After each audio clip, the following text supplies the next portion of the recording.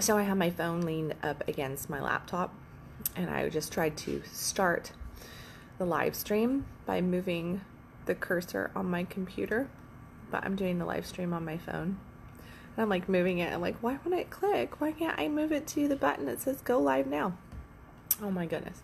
The silly things that we do. So yeah, so I figured out that my cursor on my computer is not attached to my phone. Go figure, right? Okay, hopefully I don't have chocolate in my teeth because this morning I decided I've been up since many crickets. I've probably been up since like 4:30. In truth of the matter, morning as morning Craig. Um, but I decided that I was going to treat myself with. I have these gluten-free flax brownie bites, and they are these decadent little morsels that I absolutely love.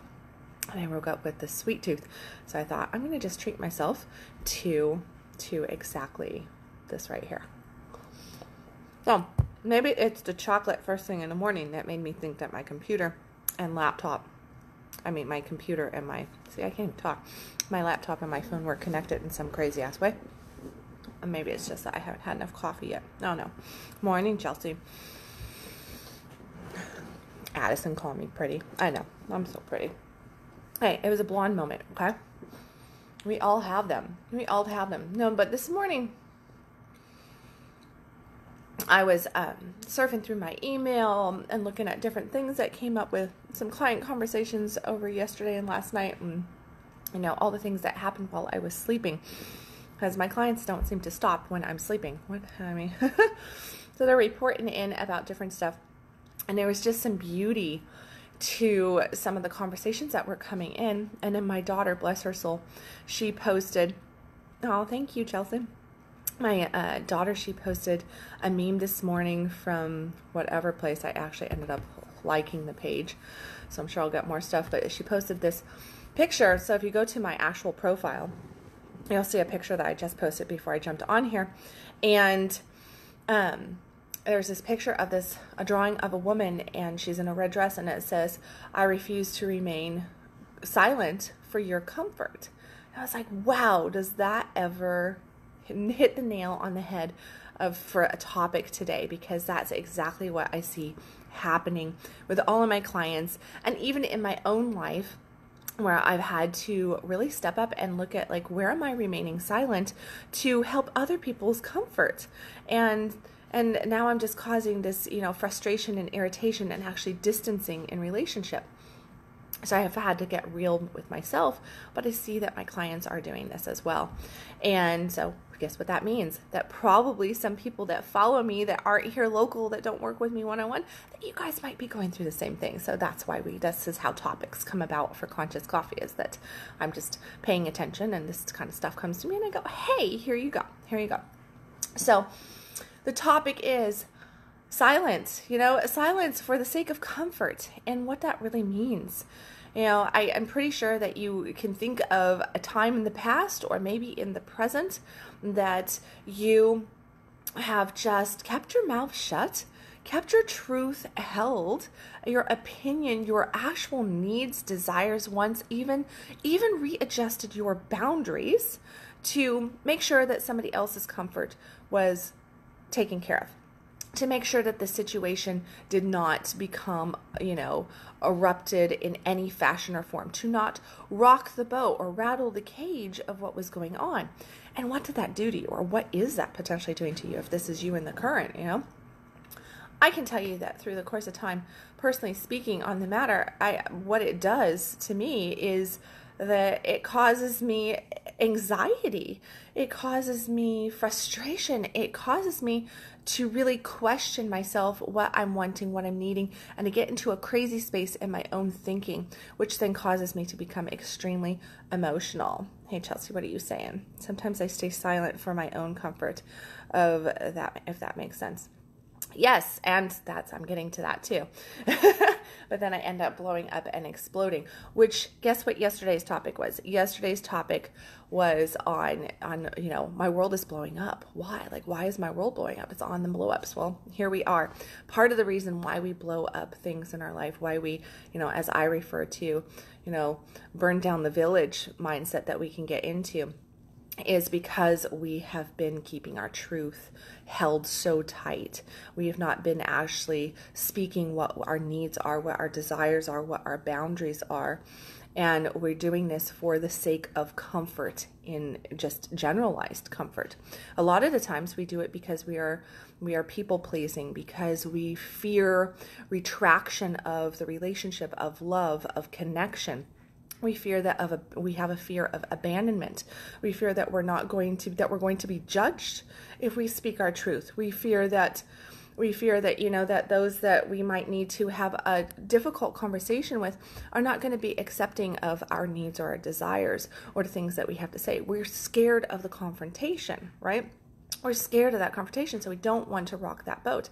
And then there is the fear of like, well, if I just remain cool about this, then I get to remain comfortable too because I'm not pushing myself into that, right? I'm not pushing myself into that difficult conversation. I'm not pushing myself into the reality that I desire something more, something different. I should just be grateful for what I have. I have all of this. Like, let's just be grateful for this and not want for anything more. Reality check. You're human. You're going to consistently want for more until the day that you die. And I can't speak for the aftermath of that, but I can tell you that from now, from the every breath you take, in this life, you are going to be wanting for something more. This is what being human is about, is to have desire and to want for something more. This is expansion. This is evolution. This is transformation. This is how we grow.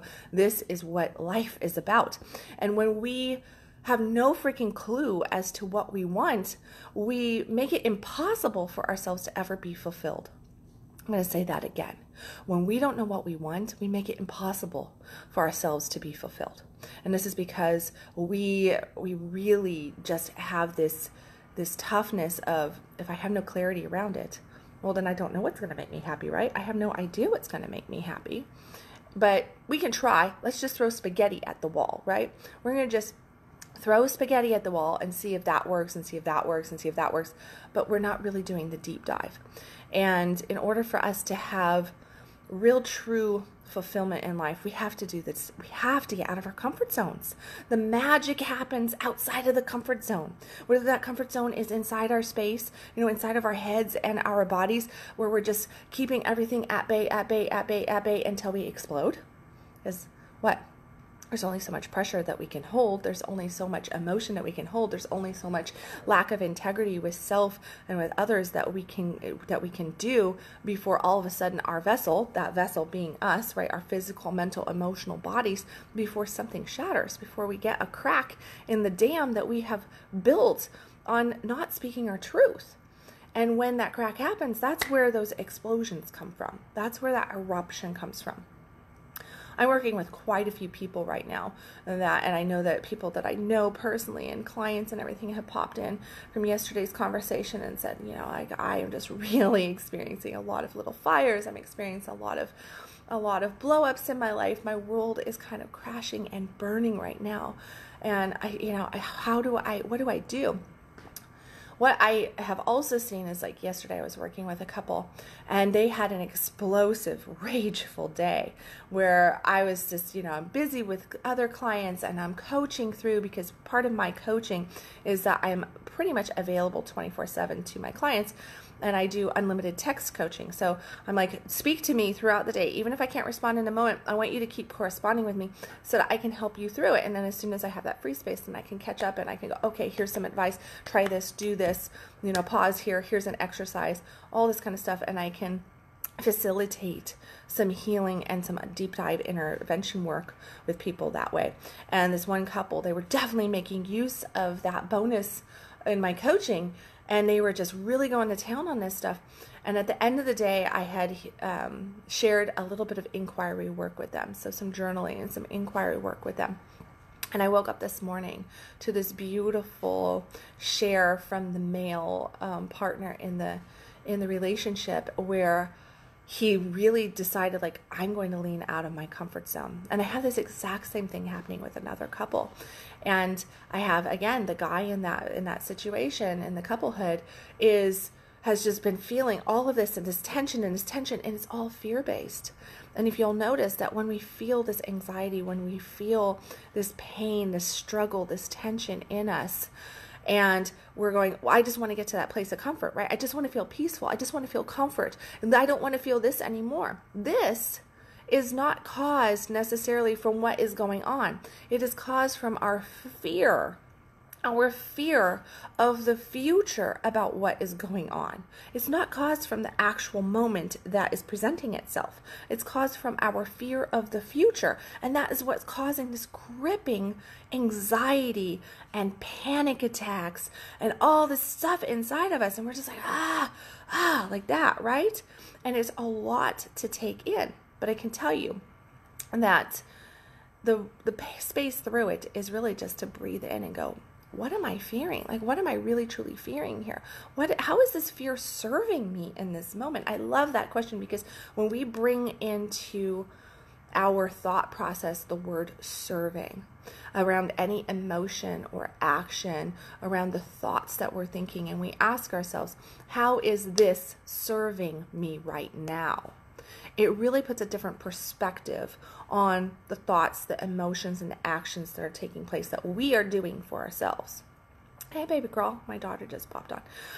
Um, so yeah so it's just you know really leaning into that and owning the fact that you know i am worried i am anxiety ridden i am fearful. Yes this moment is contributing to it. It triggered something inside of me but i have a choice right now to lean into it and to look for other options and opportunities for growth here and other options to help myself feel better to level up my emotion to come back to appreciation to come back to connection or i can lean into the fear and i can fully embrace the anxiety, the panic, the worry, the stress, the anger, whatever that emotion is. Hey, Shannon. And I can move toward that, which is what? What is that going to do? That's going to actually cause us to have that blow up in the end. Because what are we going to do? We're going to hold and we're going to repress and we're going to really struggle with that. And the more we hold and repress it, then inevitably we blow a gasket around it, right? Because again, our tank can only hold so much of repression before we blow, before we ignite the situation.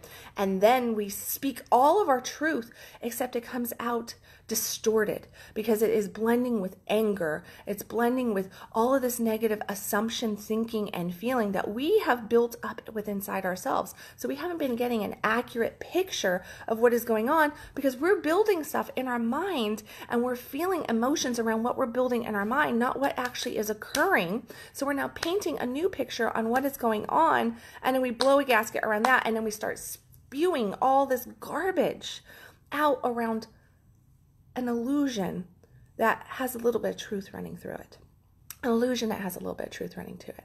And what we have to do in that in, in those times is like number one, I'm an advocate for, you know, I used to be, you could say I had lots of hostile moments, you know, that would occur where I felt under attack and I was assuming and I was painting all these different things in my head and I was holding and holding and holding and I lot I had a list and a half of reasons as to why I needed to hold space for this discomfort why I needed to hold space and not speak my truth and, you know, to not rock the boat. When I was a young mother, you know, and I just, and I had only five kids back then, right? I only had five kids back then. Now I got seven. But when I had five kids and I was in my 20s and in my early 30s and I didn't get all of this and I was learning about it, but I still didn't really understand and I wasn't embodying the stuff, that you know, the practice and everything. I would hold to the point and I'd be like, well, I can't speak my truth because that's going to damage my household. That's going to damage my stability. That what's that going to do to my children? How's that going to impact? I mean, these are great logical reasons to not rock the boat, right? Very, very good reasons to not rock the boat. I don't want to hurt my children. I don't want to hurt my financial picture. I don't want to hurt the stability of house and home. I don't want to cause a ruffle between myself and my partner or between a friend and me, or between my parents or my siblings, or what have you. I don't want to cause that because I don't want to cause an uprooting to happen. So we fear that uprooting, so we hold it in. And the reality is, is that we build that, and it's going to when it when it blows. As anybody who has ever, you know, burned down their own village in in the spewing out of the pressure you know that a lot of damage happens in that, right?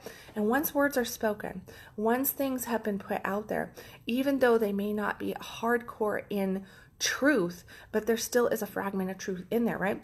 This is our pain. And even though we have painted pictures around truth and we've created this beautiful mirage around it, we're speaking this and we're putting it out there. And now we're coming from a place of hatred, a place of bitterness, a place of pain and suffering.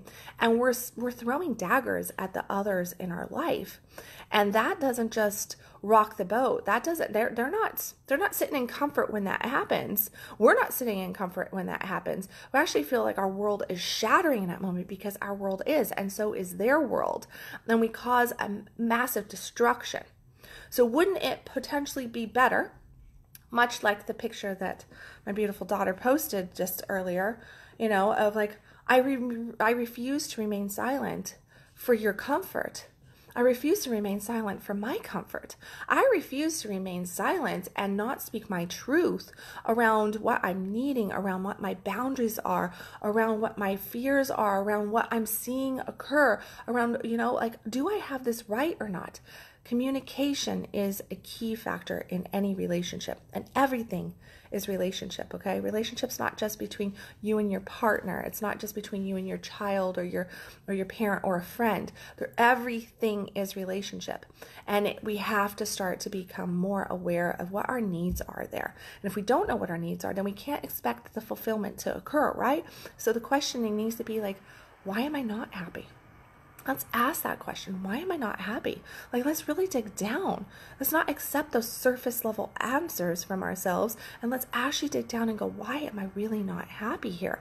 Because the more we dig and the more we uproot what's going on in us, then we're going to be able to express what our needs are, what our ideas are, what our desires are. And we can speak those in a space of love and compassion instead of burning down the village and having them come out in hatred and and really just this horrible version of just throwing daggers at the relationships that we have. So I encourage you today to look at where where have you been throwing the daggers? Where are you waiting for the pressure to become so much that you can't handle it anymore?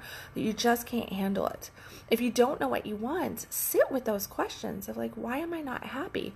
What what is not fulfilling me in my life? Where am I having a lack of gratitude? What are some of the things that I have that are blessings in my life? Do some of those kinds of inquiries around around your life today and really let yourself go deep with that. A very very simple question to ask yourself and to ask it like 10 times is what do I want?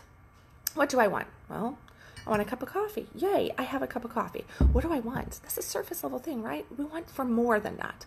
So let's go deeper.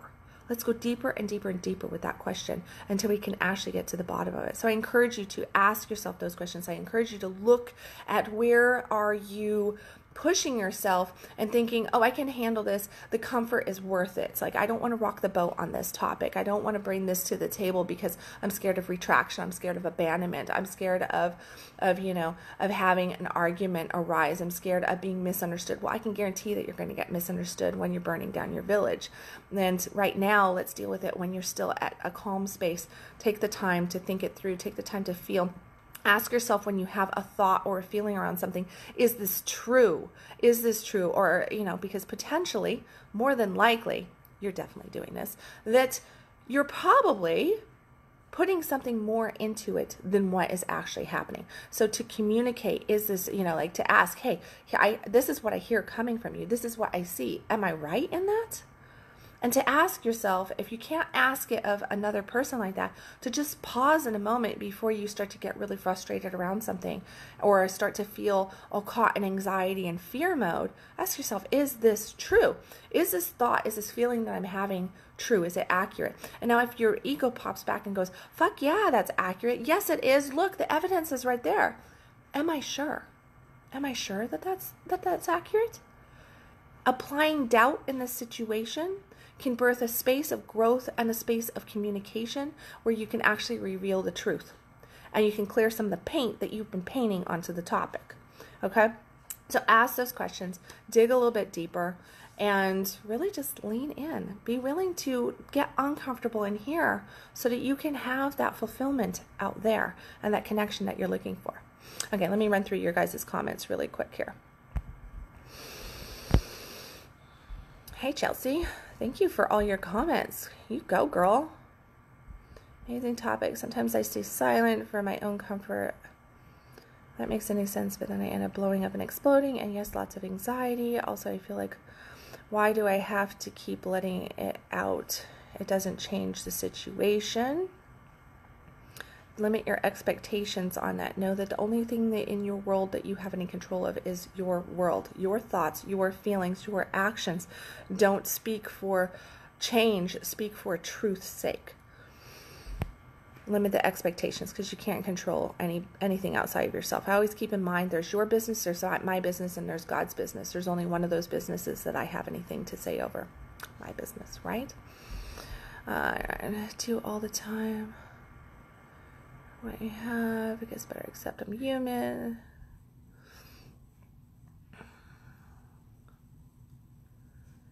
Yeah. Oh, thank you, Chelsea, for all of this.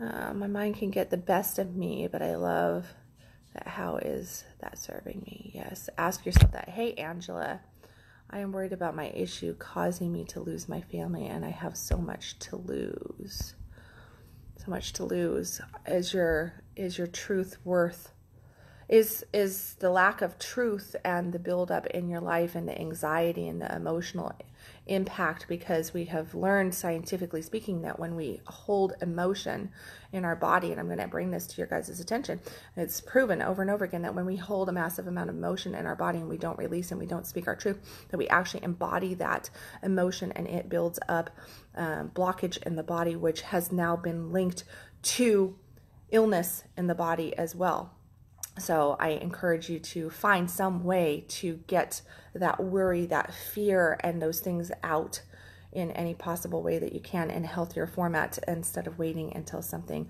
drastically happens to to your body.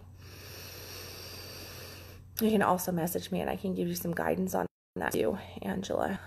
Uh, okay, wow.